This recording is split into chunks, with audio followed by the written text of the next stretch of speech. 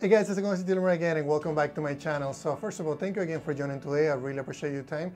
Today I want to talk about goals and what are some of the things that I've been doing over the last years to make sure that I'm accomplishing goals and what things you can do to, you know, make sure that you're accomplishing your milestones, make sure that you're finishing and you're making progress because I think that ultimately is one of the things that we want to accomplish is we want to make sure that we're making progress, we're completing things and then we're growing, you know, whatever it is that we're trying to do.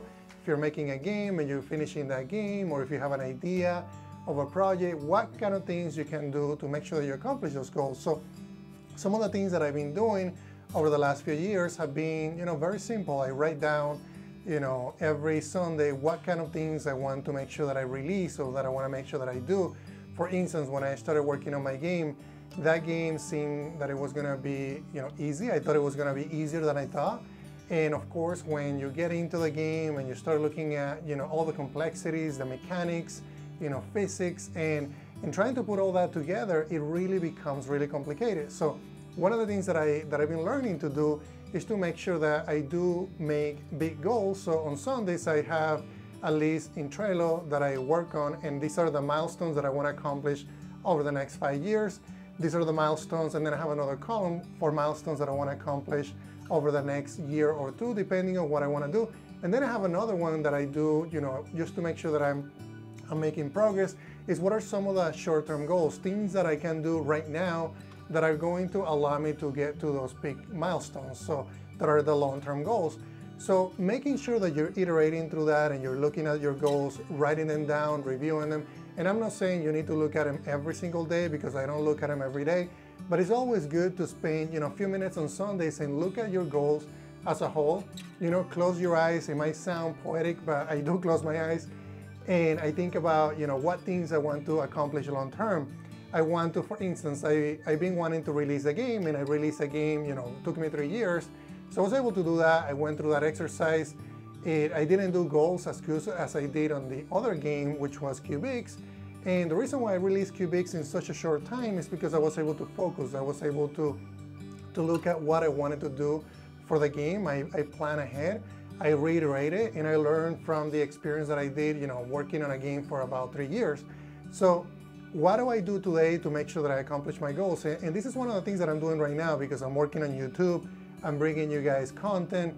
You know, one of my goals was to make sure that I could talk, you know, behind a camera. I can talk to you guys and I was gonna feel comfortable. And, and honestly, I feel really comfortable right now. I really enjoy talking to everybody because it's no longer a camera, it's going to be actually you listening to me.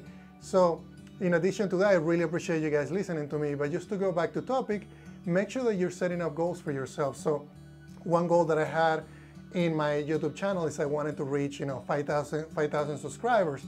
And numbers are not important, but I really wanted to grow the community. I wanted more people to be able to see, you know, the content that I was bringing. So that was my one milestone. I had another milestone of doing 10,000 subscribers. I accomplished that.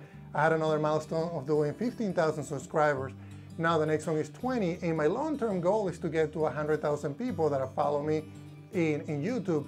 And why do I want to reach that goal? Is because I have another long-term goal. I want to be able to, you know, build a game with the income that I'm making from YouTube, and you know, also be able to fund the game my, on my own and not having to have a day job. So one of my one of my goals is to be able to do this full time. So it takes a lot of time. I know that, you know, every day that I wake up in, in the morning, which is at 4 a.m., I think about how difficult this is. And but the cool thing is I, am able to look at the goals that I accomplished previously and, and I sit down and and there's sometimes when you know you're overwhelmed, there's just so much going on.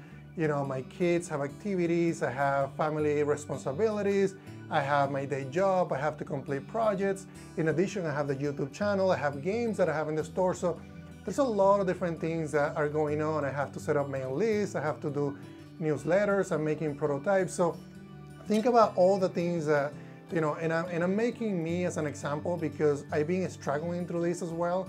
It's not as easy as it, it might seem and, and I know it's difficult, but I think the thing that worked for me is making sure that I'm making milestones and I'm making those goals really small. So make sure that you do that. Make sure that you don't take goals for granted because honestly, it doesn't matter if you're making, you know, a really small game or if you're making a big game make sure that you're setting milestones and you're always reviewing those. on a weekly basis. That's what I recommend because I think over time you're gonna realize that you know spending time on those goals and looking at them is what allow you to release your game, to release your app, to do whatever you think you want to do in the future. That is really important. So that's everything that I wanted to show you. Actually, talk to you today, not show you. I'm used to doing prototypes and telling you, show you. But I really appreciate your time. I, I really, really mean that because you know, doing what I'm doing in social media, and YouTube, and talking to you guys has been really fascinating to me. And I know a lot of you are listening to me right now. So I wanted to say thank you. And if you guys have any questions on goals or anything that I mentioned, let me know in the comments because I'm always happy, you know, to have conversations back and forth. I really enjoy that. And also be sure to check me out in Patreon if you guys have additional questions. I have a one-on-one -on -one chat there that I'm doing now. So thank you very much, guys.